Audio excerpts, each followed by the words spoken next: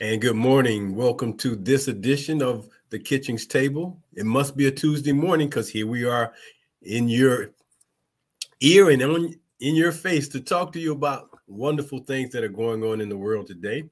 I'm Earl Kitchings. Joining me, my co-host Ronline Cannady, here on Awesome Radio, WBISLP 106.9 FM. You can also catch the show on Facebook Live, YouTube, Roku, and GPAC 23. Miss Cannady, good morning.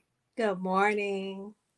All right. So today uh, is the seventh day of the month of March. And ironically enough, right behind Black History Month comes Women's History Month.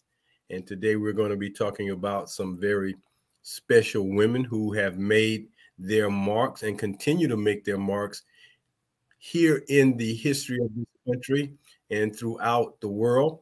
And we are just so excited to do this today because Ron Lean has some very, very special information she's going to be sharing with us today. And it's going to, I won't say it, but it's going to surprise some people. it's going to surprise some people. But oh, uh, Ronline, do, do you happen to know when they started doing Women's History Month? Actually, I wanted to look that up, but it hadn't. It hasn't been long. It hasn't been long. I but I am so glad that you know it's happening. Um, the many milestones that has happened throughout women's history, and we've been making history for quite a long time. And that trend of making history continues even to this day because even as we speak, women are making history, uh, not only here in America, uh, not around the world, but in the smallest places in this country to the biggest places in this country. Women are making history. And when we talk about not only women, but especially Black women putting in their share to make a difference, to be a game changer, to do something to affect a better quality of life. Uh, and I think that's what we're all striving for uh, is a better quality of life so that we all can live in such a way not to uh, overrun anybody or displace anyone or to make anyone feel minimized or marginalized, but everyone just wants their opportunity to have their space and do uh, what they can do to have a good life and to make a contribution to life when and if possible. So it's uh, going to be interesting uh, on the shows this this month as we go forward.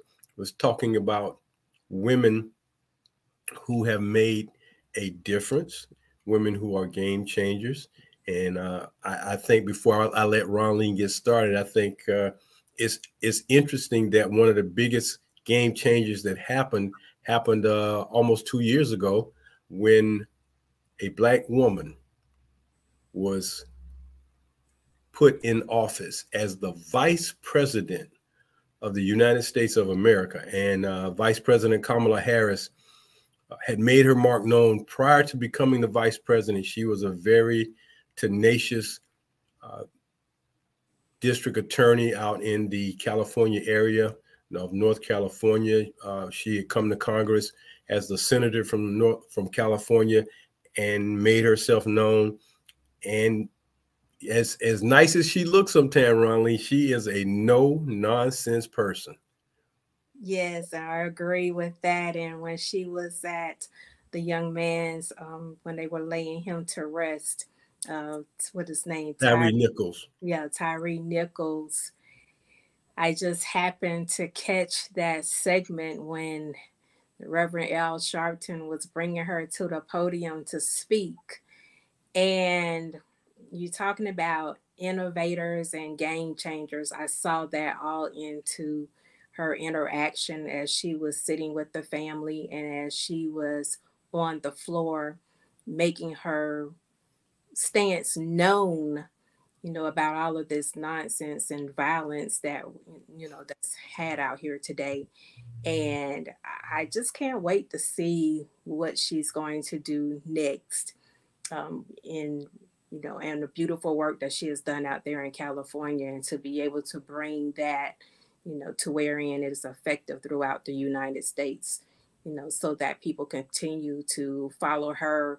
And as you said about Ben Crump a few weeks ago, you know, hey, I, have my great nieces saying, you know, I want to be able to follow into the footsteps of Kamala Harris, but not as vice president, but as president of the United States. So that's the things that she's looking forward to. She believes wholeheartedly in Kamala Harris that she wants to do the right thing for the country and she wants to do the right thing for women. And it's not just women of color, but all women. So, with that said, I think that's a good role model to emulate. I think what she is doing is, you know, spot on for what we need in this presence today. Well, that is so true. And as you were saying that, it made me think about the fact that there are so many women uh, and, and women of color who are now impacting the broadcasting business, who are journalists, uh, who have their own shows, who are uh, reporting the news, who are anchoring uh, news at both the national and local levels. Uh, they are just continually, you know, beating on that old guard of, you know, it's only for men and, and knocking those things out the way and making their talents because that's what we really have to focus in on. Not so much that they are women but they are people who are talented to get the job done and it doesn't hurt that they are women uh, especially when we talk about the ones who are reporting the news because the news is so diverse in this day and time uh, and it does need sometimes a lighter touch that uh, some women reporters can give. But when you look at the way a lot of them are doing their jobs, uh, it is uh, so, so impactful. Uh, for me, one of the finest journalists that I can think of in this day and time who has, who does such an excellent job and who does a, a wonderful job in uh, covering news stories is Rachel Maddow. Uh, this woman is so phenomenal in bringing about information to the forefront that needs to be brought to the forefront about what's going on around the country and the issues surrounding the issues. So uh, uh, it's going to be an interesting month. So without saying much more about that, I'm going to let Ron Lean bring us our women uh, for this first week of Women's History Month and let her talk about the women that she's thought deserve recognition. Ron Lee? Well, thank you so much. And before we get started with where I wanted to go, um, I wanted to recognize, start out recognizing the women of North Carolina, since this is where we are streaming from.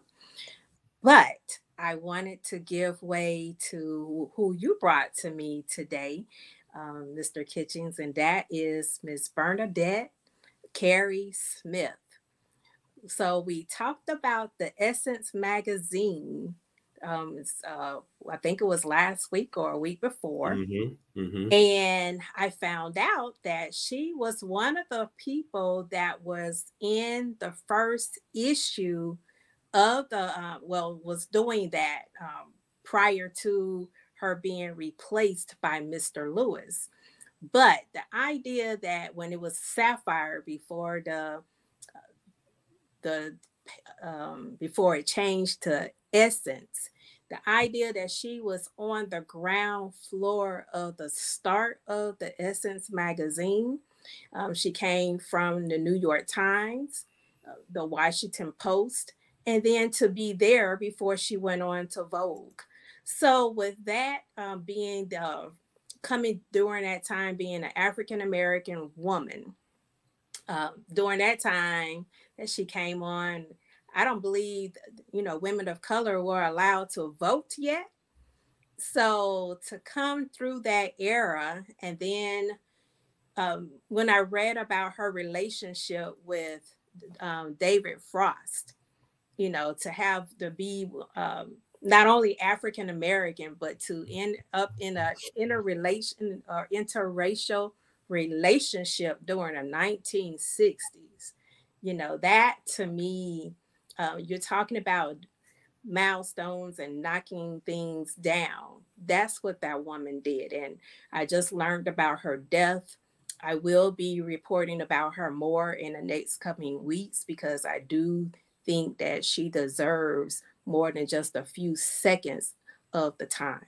So um, I wanted to acknowledge her and all of the ladies that came first in, like you said, journalism, um, those things. So now let's start recognizing North Carolina. But before I go there, do you have anything you want to say about Miss Smith? No, I, I, think you summed it up. I think it was uh, again wonderful that a, a, magazine for Black women came on the scene when it did, and I think for as long as it's been around, it's been uh, superb. That's the only word I can describe. So that's all I have. Okay, thank you. All right, so I want to recognize this lady came out of North Carolina. Her name was Sallie B. Howard, and there was a Dr. How uh, there was a Dr. Woodard that she met later on in North Carolina, um, to wherein they were able to found a school um, and a youth it started out as a youth program and it was the first and it became um, miss woodard decided in honor of sallie b howard to start that first charter school in north carolina in wilson north carolina. And it was a school about education for education. And i wanted to talk about um, miss sallie b. Howard for a minute. So, Miss Howard, she came through a time um, as being the first African American um, that started this, started a youth program. And it's because, you know, she went abroad um, out there in New Jersey or New York, and she studied um, drama, she studied um, the arts, with um, Harry Belafonte. She um, and a few more others during that time. So we're talking about the 30s, 40s, 50s, and 60s during that era when things were unheard of as far as women wanting to put that best foot forward and to use their mind for the things that they were using their minds for. And that is to climb the ladder, that is to make sure that the children are educated and that they can move on, not just in ground entry level jobs, but to go on and get higher education. And that's what this woman did. And when she came to North Carolina with her husband, and they started these programs, you know, they um, she opened up a youth camp, and it was only for eight weeks, and those numbers were growing. Everybody wanted to send their children there because they were learning so much, and I just wanted to um, just really get into that part of it for her, but when I think about the number of schools and educators today, Earl, and I think about, you know, some of the things that you have said along the way in this journey that we have embarked on together. I really feel that the root of education for the children to be able to become productive adults that the teachers do not get their just due. You know, they don't get it in their salaries, they don't get it in recognition. It's so many things that they are are missing. So, Earl, today, because education is being attacked, share your sentiments on what education really should look like in the eyes of the the parents whose children are benefiting from the education um, that the children are receiving and then for them to go on and be productive citizens well i would first say that when the question is asked what it should look like for the parents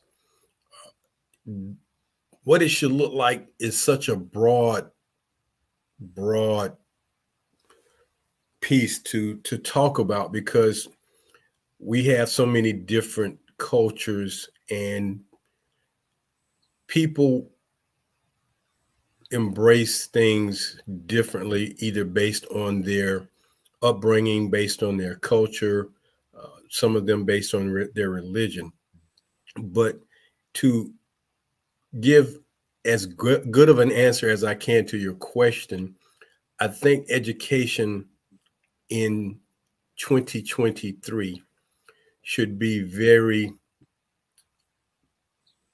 truthful. It should be very factual. It should be as diverse and inclusive as possible to make sure that everyone who has uh, made from a historical standpoint is recognized for what they have achieved and accomplished. We should also make sure that in providing education to our children in this day and time, that we utilize the best methods for teaching children so that it won't be an experience that they really don't enjoy. And, and that can be difficult because uh, the first thing that has to happen in any classroom, especially in the early years of children's lives, there has to be discipline. And when the discipline is not where it needs to be, and when I mean discipline, I'm just talking about children being attentive without providing too many distractions. Mm-hmm. Children will be children, however, they are there. When you go to school, as I share with children, their job is to learn. But it's difficult when you want to learn and there are distractions that the teacher has to deal with. So uh, that aspect is something that has to, to come from home. But uh, the other part is that whatever the children learn in school uh, has to be uh, reinforced by parents and family members when they come home so that the understanding of what they are learning in school uh, can be totally understood and they can make sure they extract those things that are necessary.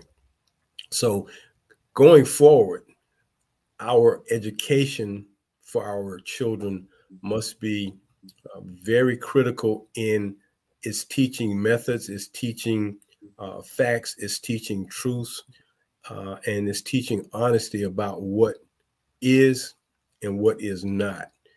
And as long as we vary way off from uh, truth and facts, it makes it difficult to to teach children because children are like sponges and they will absorb whatever you give them, good or bad, they're going to absorb it.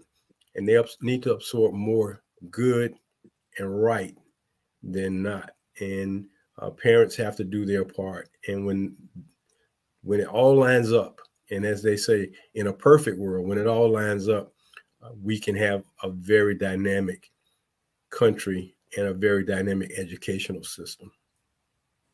That is absolutely correct you know, you made me think about where we are now. And I don't want to take away from, you know, the Women's History Month. However, I do think right now we have elections going on. And we need to be mindful of who we're putting in for our Board of Education um, in our state and superintendents and things like that, because all of that, it matters. It all matters of who gets to say what over our children. And then it goes back to us as parents and grandparents. We need to reserve at least an hour or hour and a half out of our day with our children to find out what are they learning in school are they truly learning and are there any barriers that need to be um, met to for them to overcome whatever those challenges are so that they can get the kind of help that they need in order to be able to learn and to be able to enjoy learning. And this is what i understood about um, sallie b. Howard is that she made learning fun and she encouraged them to learn and learn more. And so i'm so glad for dr joanne woodard who is um, who carried the baton forward. Um, Sallie B. Howard is deceased now, but um, Miss Dr. Woodard is definitely carrying that baton, and I pray that the schools and everything that she touches, that it will still go on in excellence, whoever that baton is passed to. So thank you so much, um, Earl, for sharing. Well, when we talk about individuals who make a contribution, contributions uh, should not be taken lightly. Um, and, and the reason why I say that is because contributions align with sacrifice. Uh, when you sacrifice uh, time, talent, resources, it requires uh, a lot of thinking about how you want to do it, why you want to do it, what you want to do with it, how much you might want to give. And when individuals are taking time, because time is not so easily to be replaced. It's not a, a easy renewable resource. And when people are giving of their time, especially from a volunteer standpoint, we must realize that they do that for a few reasons, uh, primarily because they have a desire and a passion to impact uh, a situation or to make a difference uh, in what's going on in the lives of people. And for these two women to focus in on education and want to make the education realm a lot more impactful and to start and to carry it forward. Uh, as you were talking about the education part, it made me think about Dr. Mary McLeod Bethune, who started a school for girls, who merged it with a school that was a school for boys, and that's how we we got Bethune Dash Cookman, uh, because uh, Darnell Cookman uh, was a a boys uh, school, uh, Cookman Institute, and uh, so the two of them came together. Think about that. Here's a black man and a black woman uh, deciding that, hey, let's come together and make this work and make a very strong opportunity for children of color. So henceforth became Bethune Cookman University, but Dr. Mary McLeod Bethune started that college with very meager earnings, uh, didn't have a lot. It started on a on a junkyard. That's where it actually started. But she had a vision. She mm-hmm. stuck to her vision. She stuck to what she knew was necessary in order to make that situation work. And she continued to just drive herself to make all those things happen because it was important. And because of that, we have what we have. So when, uh, you know, the women that you're speaking of did ideally the same thing, it, it makes such a big difference. And hopefully, the quality of education uh, helps with the quality of life, and the quality of life continues to nurture others to continue to invest in that pool. Oh yes, yes, yes. And I am so proud um, just to be talking about this. I remembered when I was in college and I did a paper and it was talking about uh, we had to do one about the most influential people in our lives. And so I decided to do one on my mother because she was the, um, for me, made me think about things in, in in ways that I had not thought about them before.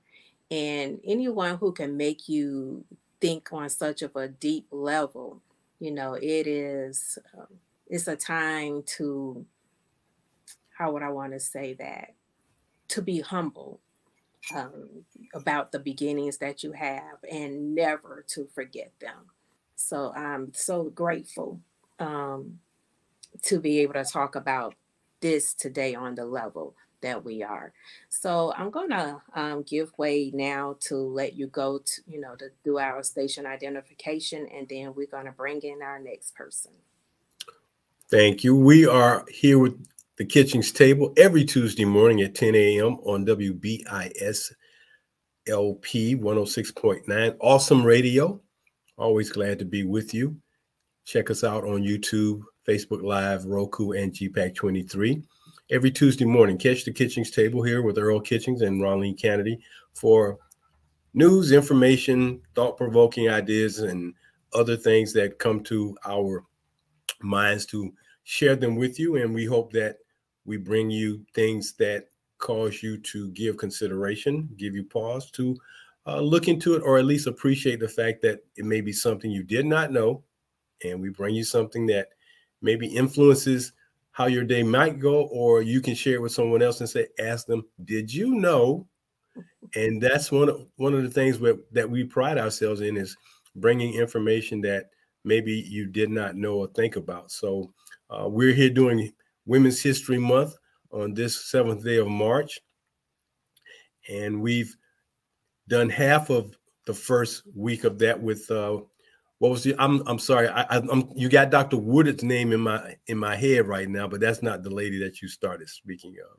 Yes, Sallie B. Howard. Miss Howard, Miss Howard. Yes, I'm gonna call her Dr. Howard. Okay. I'm gonna call her Dr. Howard since she's she started this school.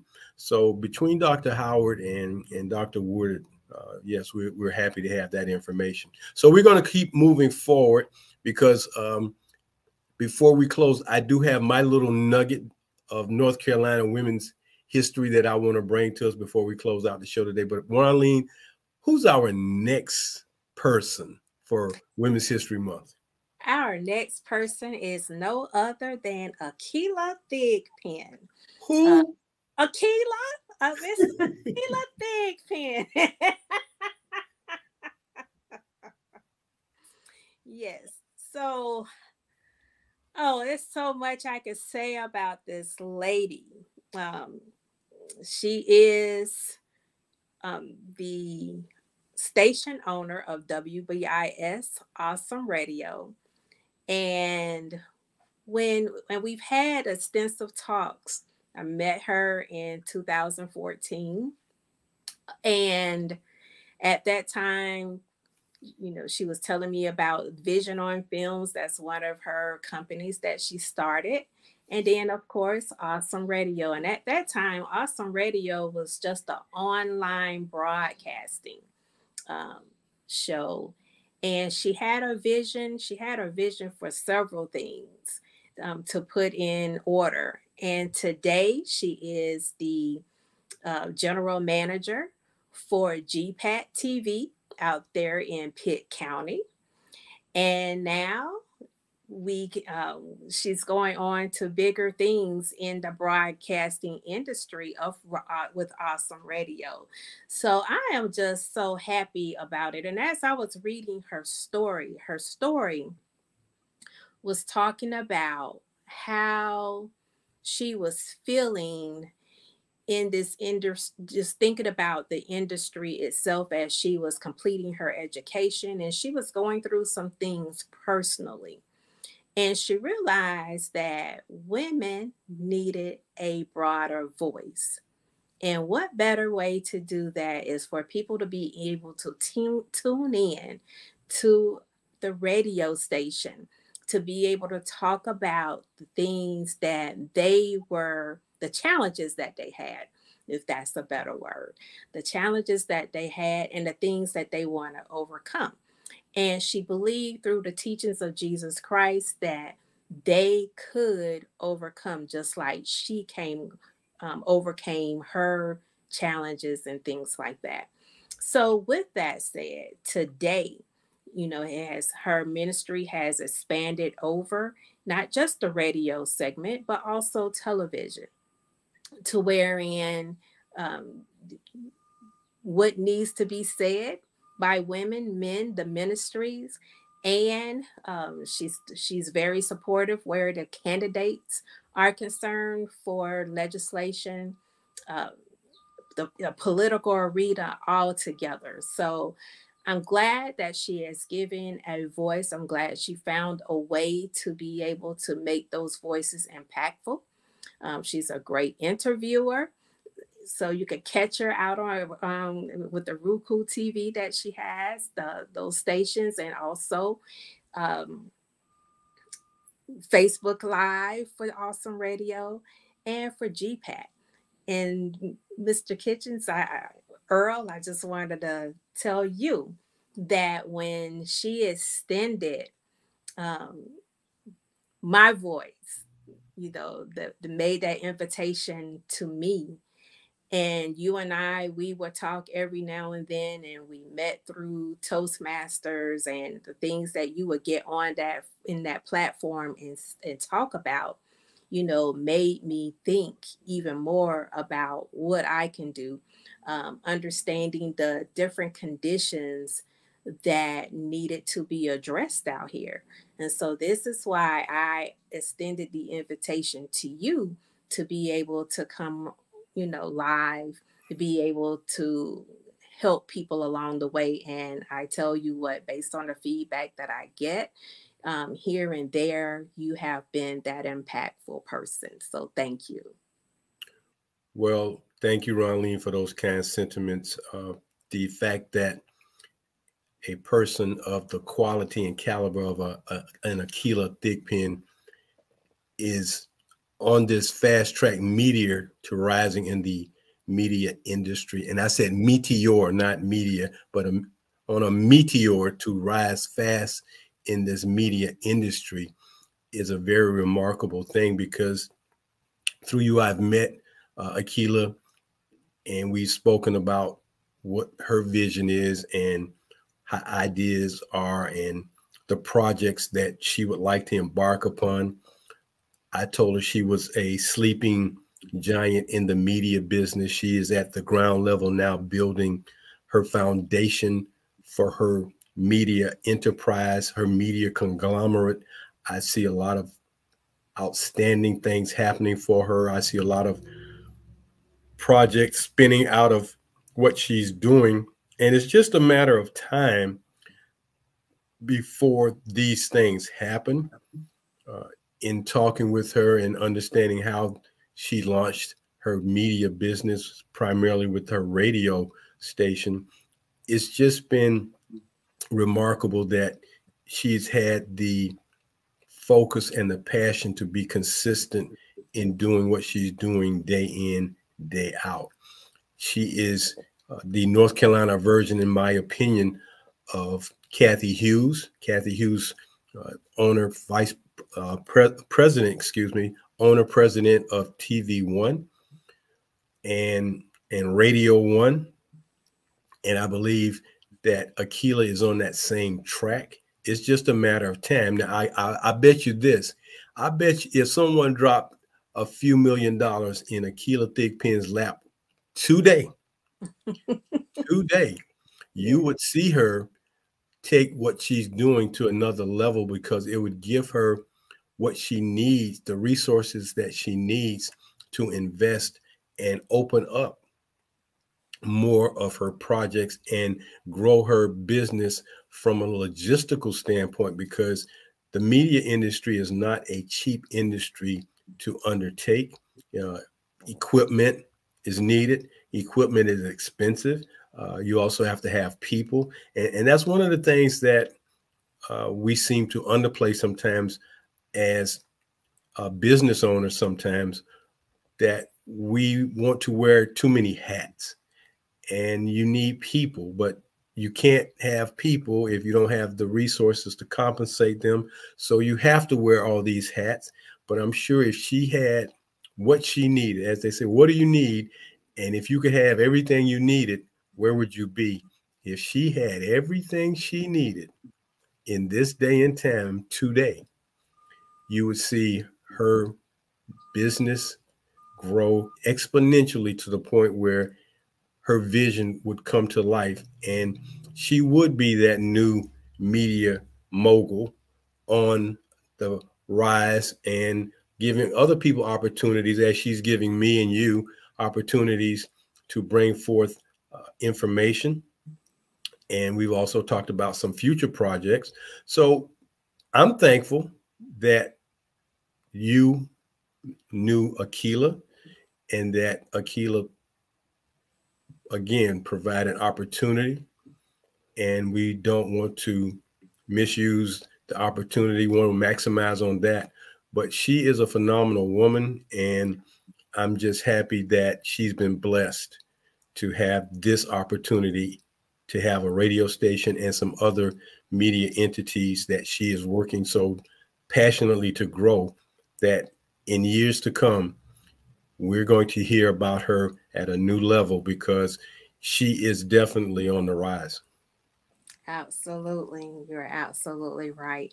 I remember the late nights that we um, talked about her vision and carrying it forward and being able to pass that torch along to people in her family you know, to be able to come right behind her and carry that baton on.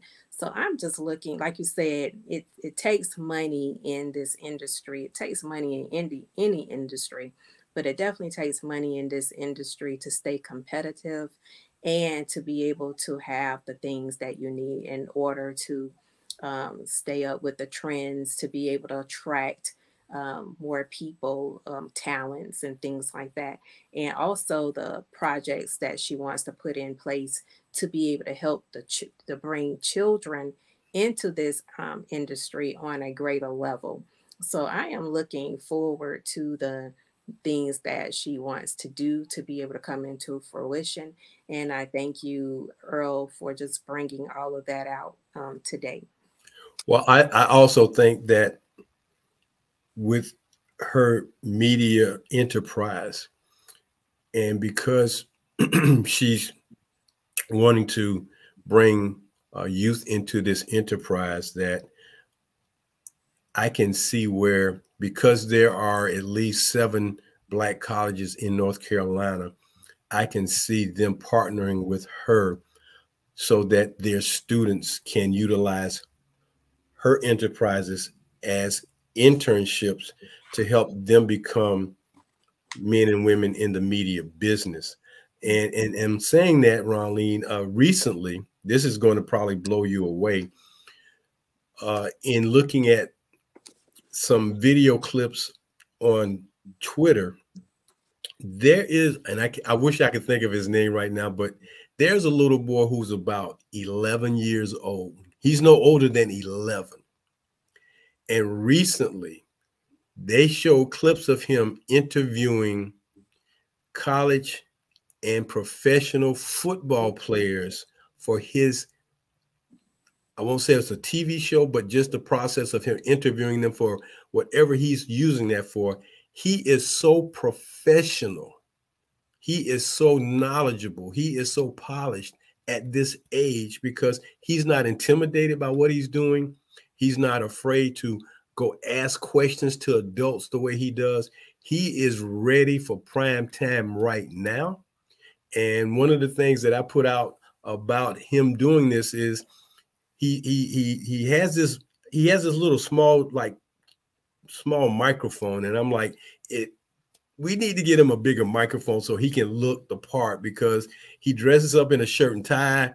He asks his very poignant questions and I think if he got the equipment he needed to make him his presence a little bit uh, more impactful, uh, I think he would even feel a lot more polished because now he's using that same equipment he watches the professionals on TV use. So uh, I haven't gotten any responses back. I don't know how to get in touch with him or his parents to maybe provide him with the funding. But if you can find somebody that young wanting to be in the media business, and he said this is all he wants to do. He just wants to be this TV reporter, this TV personality. He has already got a jump start on where he's going. And when I'm, I'm going to bring his name to the show next week, but 10 years from now, 15 years from now, I guarantee you, I guarantee that he will be this phenomenon. He will be this phenomenon that we spoke about in 2023 and said, man, I remember talking about that young man back in 2023 and look at him now because he is going to be that next superstar in the industry uh, as it relates to uh, definitely sports. So, uh, I'm just letting you know it's, it's, it's some young some young superstars out there, and they're just waiting to join and connect with someone like yourself to nurture them and move them forward, and they become those superstars of tomorrow. All right. So yes. So is it Jeremiah Fenum? Jeremiah, that might be his name.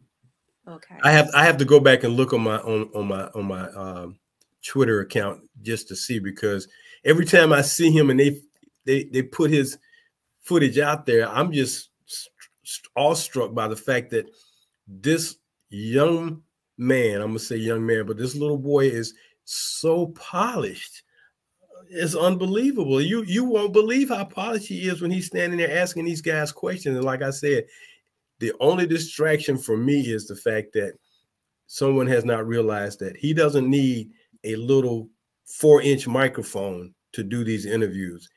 You need to get him a real microphone and, and get him accustomed to holding that kind of microphone so that he can interview um, the players that he interviews because in a sense that trivializes him because the equipment looks like children's equipment and you may not take him serious.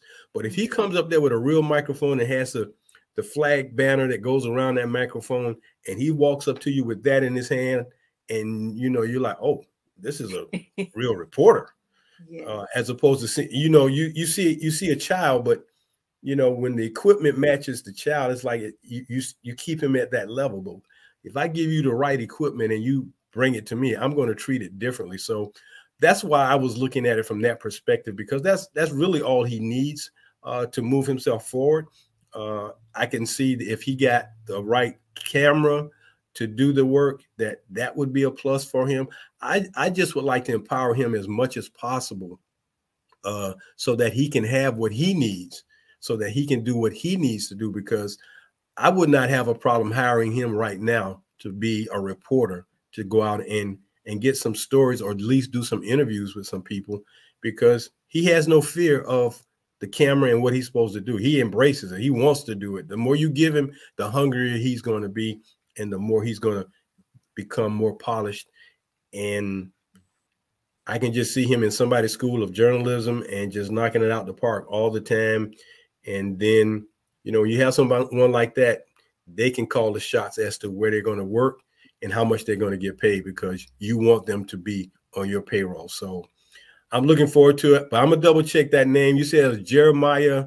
Jeremiah Fennell. That's what I came up. Fennell. With. Okay, I'm going to check that because if that's who it is, I'm just wanting to get in touch with his parents uh, to go through them to find out uh, if they would be okay with him being gifted some better equipment uh, because I know that aside from what I saw him doing, he probably, you know, finds something to interview or people to talk to, always just working on his craft every day because he's driven. So I'm going to I'm follow up with that.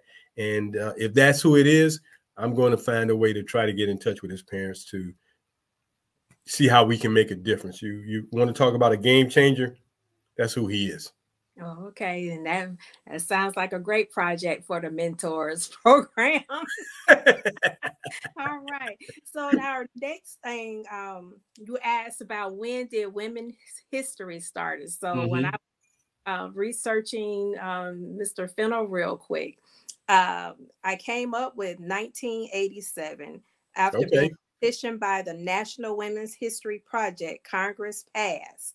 Um, so March of um, 90, uh, 1987 is when um, women's history became real. Um, to wherein it is acknowledged that women do need to be uh, has earned that right to be recognized. Okay. And uh, you are right. That is the young man um, that i was speaking of jeremiah fennell uh, I, I, quickly looked him up and that's who it is and now that you have uh, given me that information i'm going to reach out and find uh, who i need to contact because like i said what he needs is just a little bit more help, and he will. And I and I tell you, if you go and look at what he does on YouTube, you just go check him out, and you tell me if he's not polished to be 10, 11 years old. You tell me if he's not polished, and compare it to some teenagers or some young up and coming journalists who are doing the same thing and just compare him to them and see if hmm he's not too far behind. You know, he's not too far behind some students who are in college working on their journalism degrees. You know, uh, you're right. And that reminded me of Rockman Johnson, my cousin. Mm-hmm. Mm-hmm. He was coming up um, as he mentioned that I watched his face or whatever the case right. may be. You know, it's um and look at him today, you know, just continuing to make his mark. He still speaks well and um, has done a lot of things, been on television, um, acting, you know, in major roles, you know, on screen. So I, I, I you got me excited about Jeremiah Fennell today. Okay. All right. So the next person um, that I wanted to honor, and I thank you for bringing um, her to my attention, and that is the late Fanny Jackson Copeland. Um, she was born Coppin. in Coppin. I'm sorry, Coppin. She was born in slavery. Her aunt purchased her freedom for $125 at the age of 12. She became an African American teacher, it seems, before she entered college and then was the first African American female student to enter into Oberlin um, College in Ohio. Um, she became principal for the Institute of Colored Youth, now known as Cheyney University of Pennsylvania in Philadelphia, um, Pennsylvania, and went on to become the first African American school superintendent in the United States.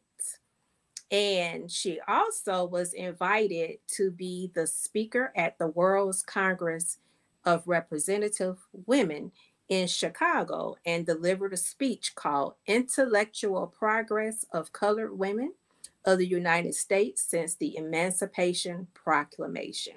I would have loved to be there for that speech. And did you know anything about the World's Congress of Representative Women in Chicago? Never heard of it. Never heard of it. And you know, when I thought about that, Earl, and I know it's time for us to wrap up, when I thought about that, it made me think about your aunt, the lady who you said was in the um, in the Navy as mm-hmm. an author. And mm-hmm. I wanted, I definitely want to find out more about that. But before we close that, I want to just um, honor these ladies.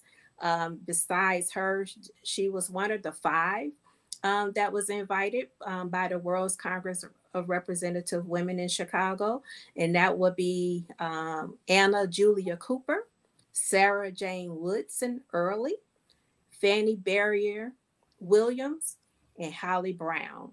They were among the five um, African American women that was invited to speak at this event. And I would also like to honor um, Mary Jane Patterson and Frances Josephine Norris for being amongst the graduating class to have graduated with their undergraduate degree during 1865, along with Fanny Jackson Coppin. Okay, so you you forgot to tell everyone one important thing about Fannie Jackson Coppin. All right, tell it. So Fannie Jackson Coppin is who Coppin State University in Baltimore, Maryland is named after. Okay. Just so everyone knows, Coppin State University is named after Fannie Jackson Coppin. Okay, a black woman like Dr. Bethune. So we have two black colleges that we're aware of named after two black women. So there we have it. All but Ronnie, thank you so much for bringing us all that information. That's going to do it for us today here on the Kitchings Table. Once again, we ask you that you join us every Tuesday morning at 10 a.m. here on, here on Awesome Radio, WBIS 106.9 FM, Awesome Radio. And if you like to catch out our show, catch our shows on YouTube, on Roku, excuse me, Roku, Facebook Live, YouTube, and GPAC 23. For Ronline Cannady, I'm Earl Kitchings saying until next Tuesday morning, go out and do something good for somebody else. Take care.